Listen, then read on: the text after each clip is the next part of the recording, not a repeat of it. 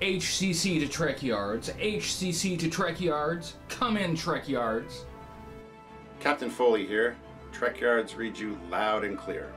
Go ahead, HCC.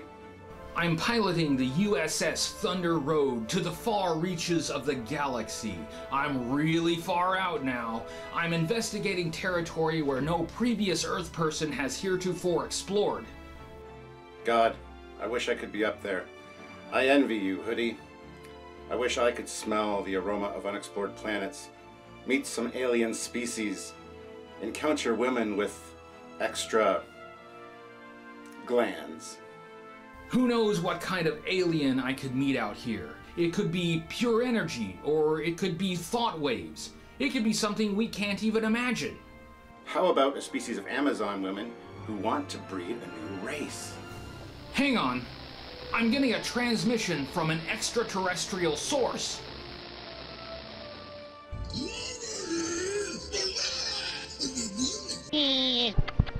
What's up, Doc? Uh, HCC to Trek Yards. Nothing to see out here. I'm heading back. See you at the pub.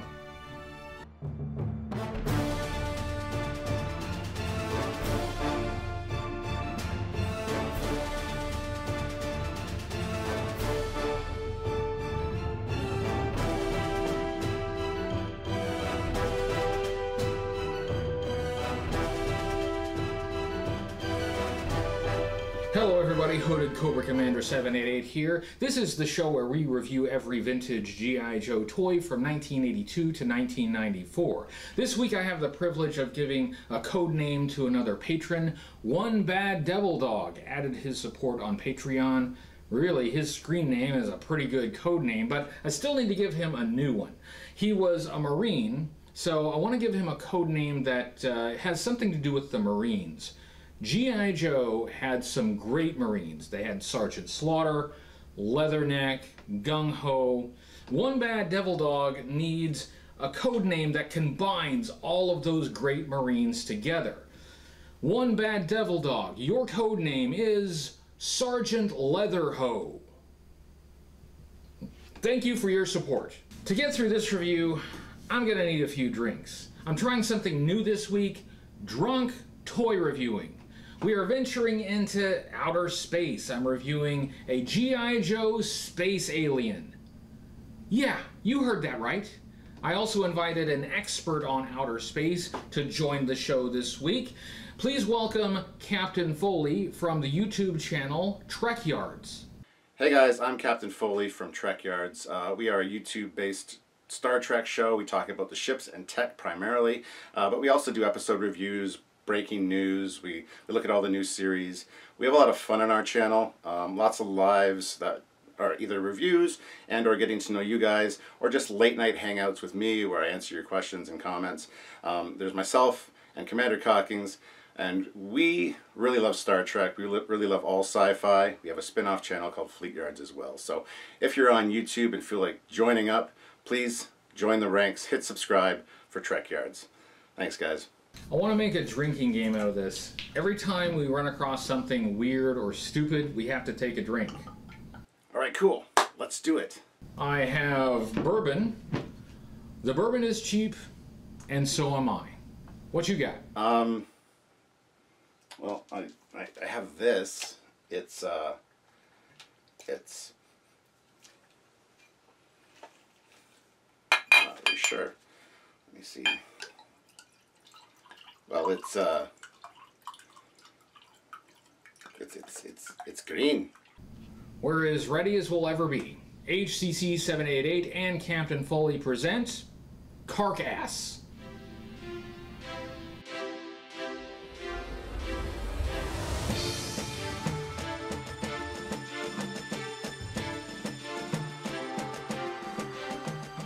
This is Carcass, G.I. Joe's Star Brigade Alien Destroyer from 1994. This figure was available only in 1994 because 1994 was the final year of the vintage G.I. Joe toy line before it transitioned to Sergeant Savage. This is the only version of Carcass ever produced. He is a Lunartix Empire space alien. Yes, a space alien in the vintage G.I. Joe toy line. A carcass is a dead body of an animal. Yeah, that's about right. The aliens in the Star Brigade subset were from the Lunartix Empire. You heard that right, they are lunatics. Drink.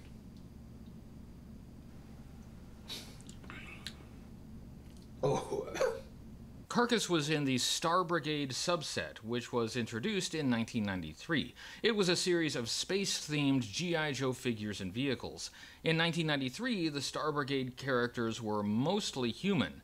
There was one android and some Armortech characters that were part machine, but they all had their origin on Earth. In the 1994 Star Brigade series, G.I. Joe jumped over all the sharks in the ocean and brought us aliens from outer space. Obviously, this isn't the first time science fiction appeared in G.I. Joe. Science fiction elements have been present in the line since the relaunch in 1982. For instance, Flash was a laser rifle trooper, and Grand Slam had a big laser cannon. In 1984, the Zartan figure had color changing powers. In the comic book series, his camouflage and disguise abilities were partly explained with holographic technology. 1986 was a big year for science fiction in G.I. Joe. That year saw androids, two color changing figures, a mad scientist, and a composite clone emperor. In 1993, G.I. Joe had a couple mutant creatures in the Mega Marines subset, but the line managed to make it all the way to the final year without having literal space aliens. There were three Star Brigade aliens aliens in 1994 Carcass, Lobotomax, and Predacon. I already reviewed Lobotomax. He had a long, veiny tail with a fist on the end, and a long, veiny neck, and a ball sack on his head. Drink. Mm. Carcass, well, look at him. Of the three, Predacon is the least weird. There was another series of aliens planned for 1994, but they were cancelled before production. The Manimals were alien figures that transformed into monsters. Some of the Manimals were eventually released in the year 2000 as exclusives to KB toy stores. Thanks to Brandon Knight, I have a sealed Carcass figure, so let's look at the unopened figure and see how Carcass was marketed back in 1994. The card has a vertical G.I. Joe logo, and above G.I. Joe it says Lunartix Empire. It has the Star Brigade logo in the corner, and then very tiny, it has the Lunartix Empire logo. That is so tiny, it's almost like they were ashamed of it, as they should be. This guy's mama named him Carcass. He is the alien destroyer. The card art is fine. It enhances some of the details on the figure. For instance, the card art shows him with claw feet and those details are just sort of sculpted on the top of regular feet rather than make the figure's feet that shape. And he is holding a weapon that is an accessory that comes with the figure. He has bendable monster arms, and this figure was $4.49 when he was on the pegs in 1994. You can see through the plastic bubble, this figure came with an accessories tree, this plastic piece here, and all the accessories are attached to the tree. So the purchaser would have to cut the individual accessories off of the frame. Flipping the card around to the back, we have the cross cell with some other Star Brigade figures that were available at the time. There's Carcass right there. There are instructions on how to use the figure stand. And then there's this caption Coming soon Power Fighters and Manimals. Power Fighters were released in the vintage era, but the Manimals were not. They were released later, though. This was worth one 90s style flag point, and this figure was apparently sold at Target. Then we have the file card. This is the reduced size file card. It's about baseball card size. They started doing this in 1994. The card has this to say about about Lunartix aliens. Watch out! Alien bounty hunters join the galactic battles as they stalk the stars in search of alien or humanoid prey. These guys are all alien bounty hunters, and so were the Manimals. Did the writer of these cards not know what a bounty hunter is? I think they heard it on Star Wars and assumed it had something to do with bad aliens. Drink. Oh, that is not smooth. That's. Ooh. Let's take a look at Carcass's accessories. As mentioned a moment ago, they were all connected to a green plastic frame, so they are all the same green color. This was common with 90s figures. There is no spring loaded missile launcher, though. None of these accessories are original, they are all reissues of accessories that came with earlier action figures. Let's start by looking at this one. This sort of looks like a traditional assault rifle with a grenade launcher attached. It feeds from top and bottom. It has two magazines. This lower magazine looks like it might feed into the under barrel grenade launcher. The details are not bad. It is not based on a real world weapon, but you can kind of imagine this working as a real firearm. This is a reissue of the rifle that originally came with 1990 Sky Patrol Airwave. That rifle will fit in the action figure's hand without any problem, and it fits quite snugly. It won't fall out very easily. Next, let's look at this other rifle. This is also in that green color. It has a magazine under the grip. It has what looks like a folding stock and a scope and a vented barrel shroud. This is a reissue of the rifle that came with 1991 Lowlight version 3. This is the accessory featured on the card art. Even though this isn't based on a real weapon, it still looks like a traditional firearm. Looks like something from Earth, not from outer space. Next, we look at his pistol. Uh, this pistol is also in that green color. Uh, it is not based on a real world weapon, but it kind of looks like just a generic pistol. It has details that you might see on any number of semi automatic firearms. This is a reissue of the accessory that came with 1990 Sky Patrol Skydive, and like the others, even though this isn't based on a real weapon, it looks like a traditional firearm and not something from outer space. Next, we have this knife. The knife is in that green plastic color. Uh, this is not a science fiction weapon, it's a pretty basic knife. Although, of course, aliens could have knives. If they can invent space travel, I'm sure they can invent a stick with a sharp thing on the end. So, an alien could have something like this.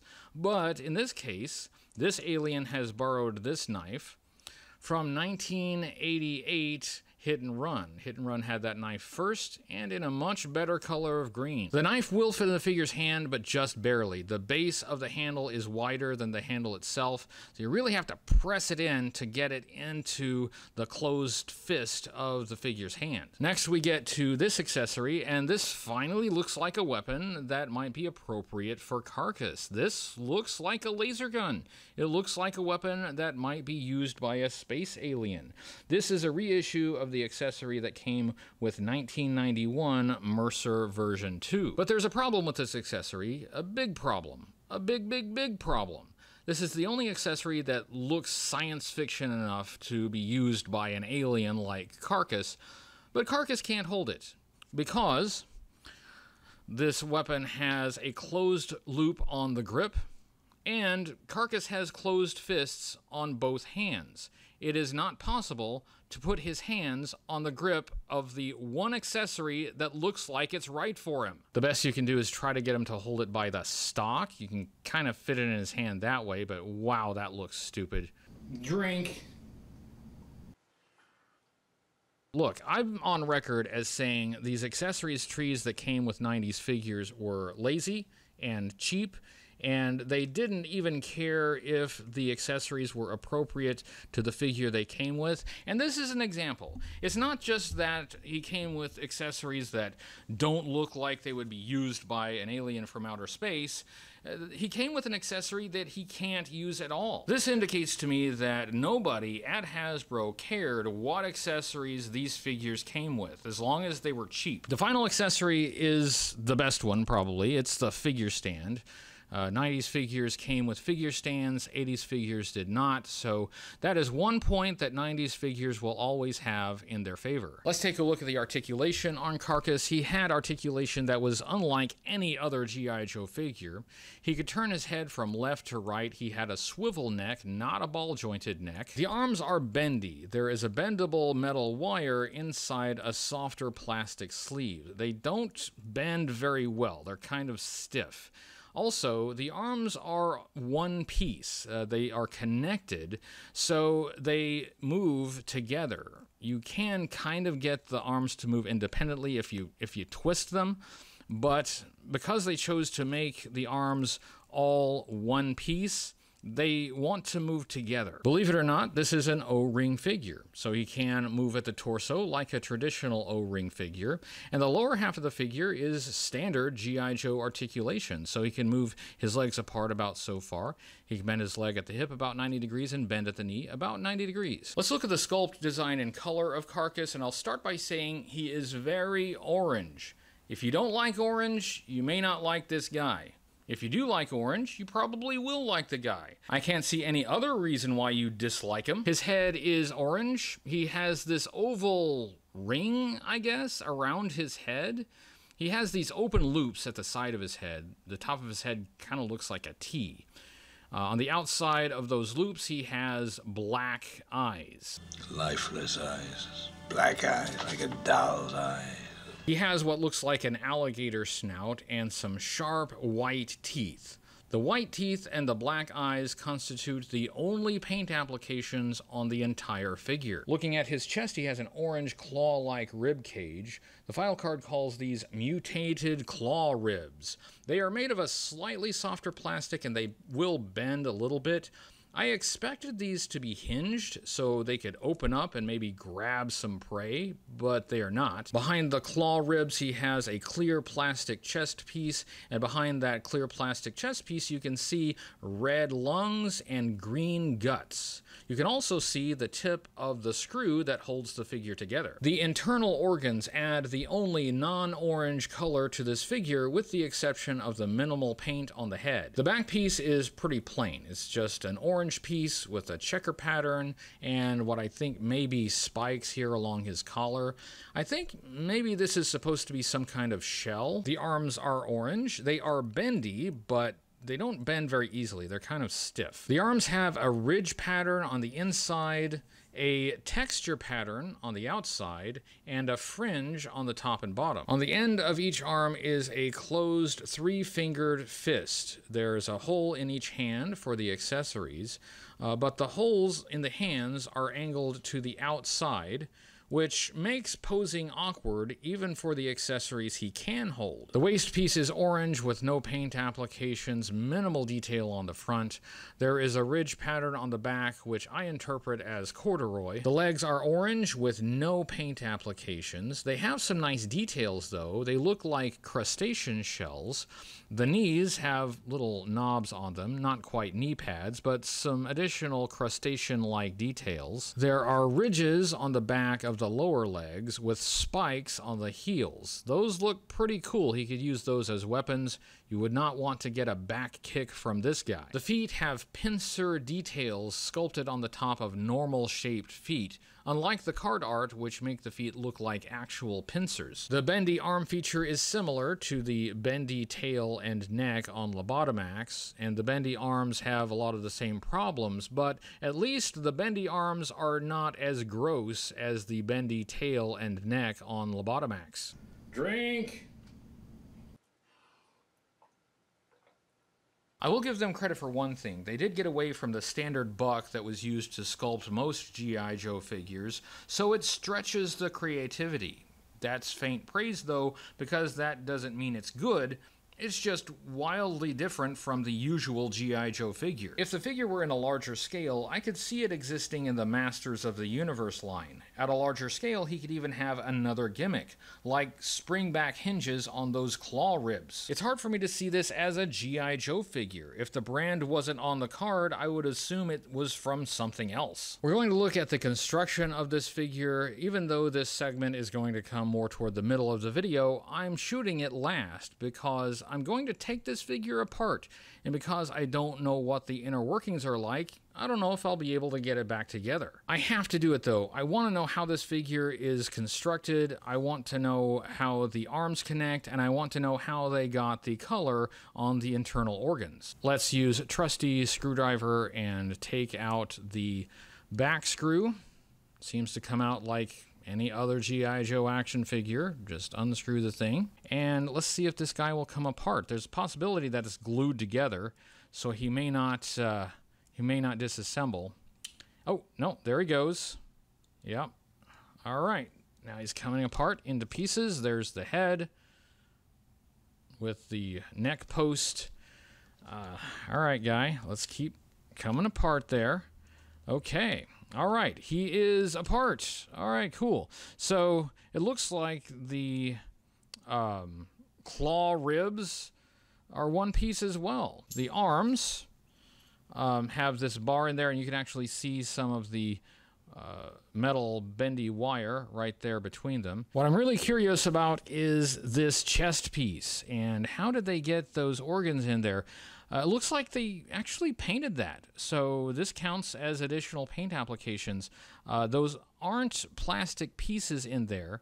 They painted the inside of this clear plastic chest piece. The rest of the figure appears to be a standard O-ring figure. Now let's see if I can get it back together. It should just be a matter of lining it up and pressing it together, but it, it's, uh, it's a lot of pieces, more than the average figure to line up, but hey, I think we may, no, no, don't quite have it.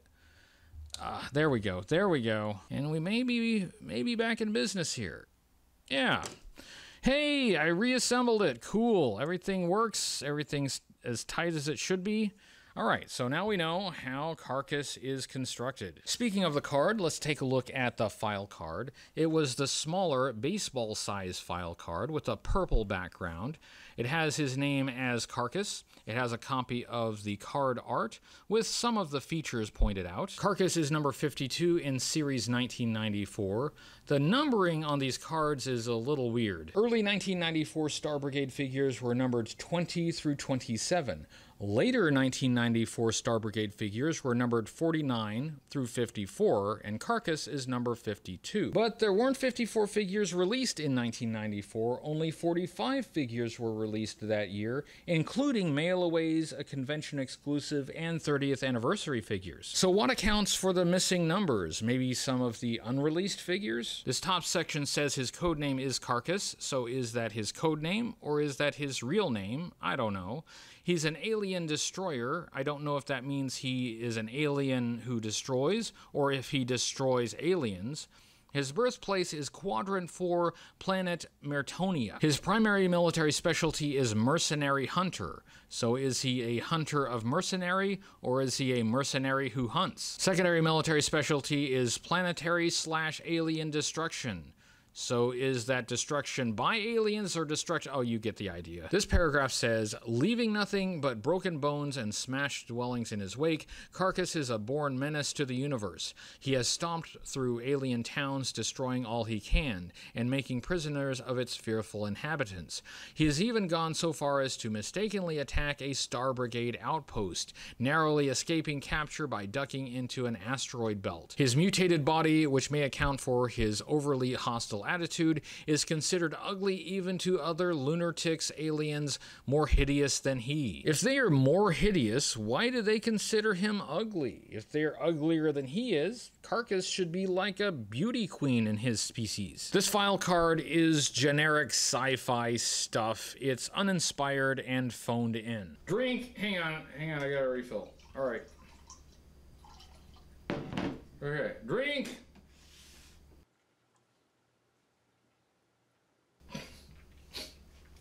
Mm. Looking at how Carcass was used in G.I. Joe media, that won't take very long. He did not appear in the animated series, and he did not appear in the comic book series published by Marvel Comics. He did appear much later, along with the other Lunartix alien, in the 2007 Devil's Due comic book G.I. Joe vs. Transformers Black Horizon. I'm a huge G.I. Joe fan, and I've got a huge collection of G.I. Joe stuff but it's the earlier stuff. The later stuff I, I wasn't into. This carcass figure I didn't even really know about until recently. And good God, man. I know here in the Federation we're supposed to be accepting of other species, but what is this abomination? It looks like somebody glued a bunch of Cheetos together. Um, I, I don't understand what happened to G.I. Joe in the 90s, the mid 90s bright colors everywhere, weird premises or premisi. I don't know how you'd say that, but why? What is happening to GI Joe? It's it's it's an interesting figure. I'll put it that way. Would I have it in my collection? Nope, I wouldn't. But I'd like to thank you for having me in this review. I really appreciate it. But I'm looking forward to hearing what you say about this thing. Looking at Carcass overall, I have to give Hasbro credit for creativity. This is unlike any other G.I. Joe figure. They broke away from the standard structure and articulation and shit like that. That's one point for creativity. Is it a good figure?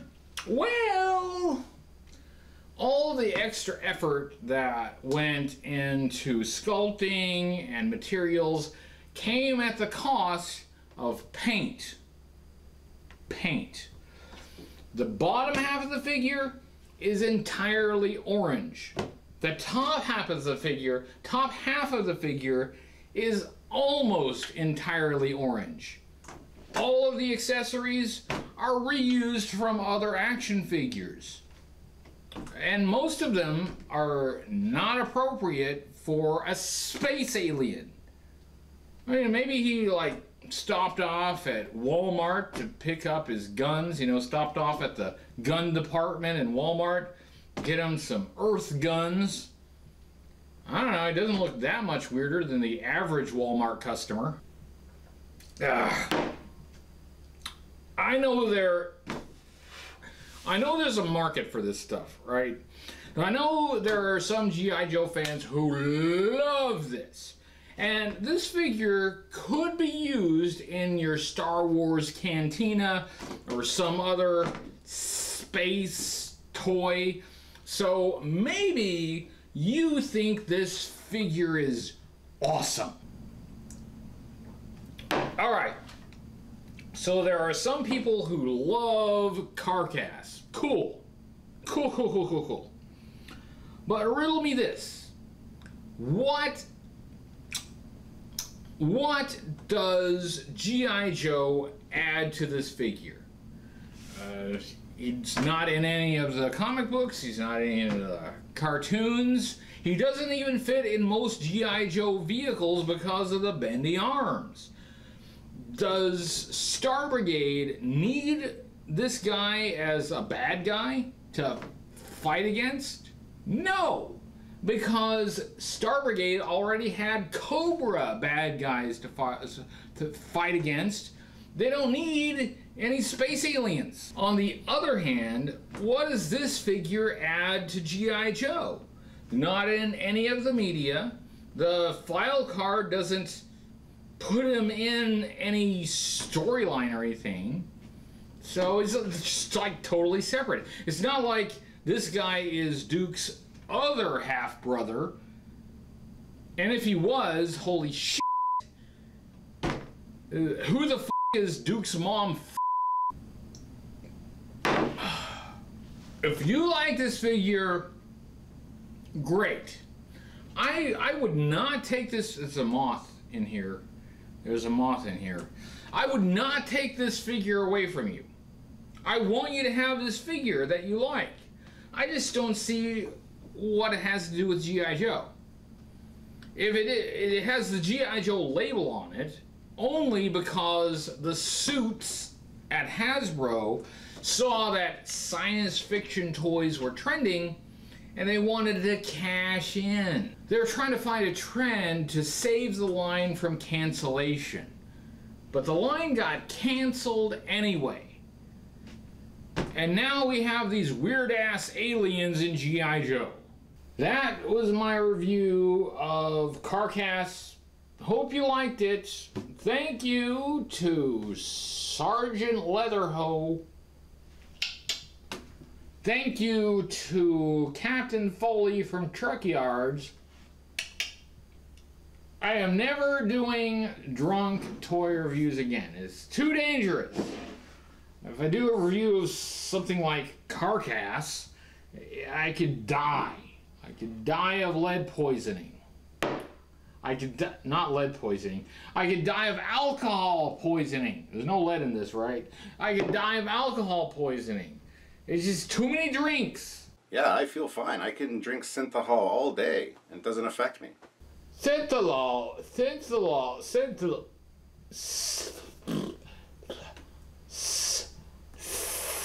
Synthahol? Yes, synthahol. I'd be crazy to do a review like this with real alcohol.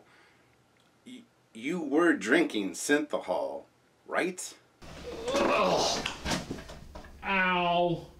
Drink. Thank you for watching this video. If you enjoyed it, I'm making more like it. So please give this video a thumbs up on YouTube, subscribe to the YouTube channel, hit the notification bell so you don't miss any future videos, and share this video with your friends. That's what helps this channel grow. You can find me on social media, on Facebook and Twitter, and I have a website, hcc788.com. If you want to know if I've already reviewed a vintage G.I. Joe item, that's a good place to check. Special thanks to all my supporters on Patreon Patreon, including the names you see on the screen now. Support on Patreon helps keep this show going. So if you like the show and you'd like to support the show in that way, please consider checking out Patreon. You can get some special rewards, including early access to reviews, and you can find out how to decode the secret messages you see in these videos. Thank you for joining me on this adventure of collecting vintage G.I. Joe toys. I'll see you next time, and until then, remember, only G.I. Joe is G.I. Joe.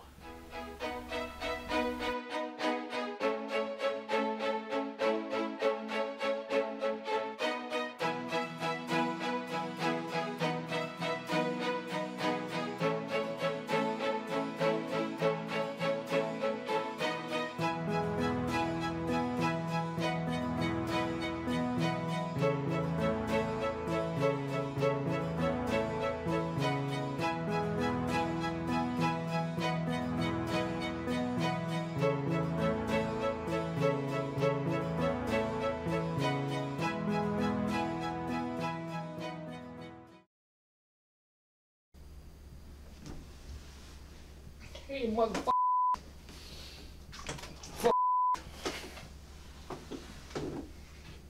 This still recording. Look here. This is not an act. I I actually drank all that. And I'm not I'm not acting.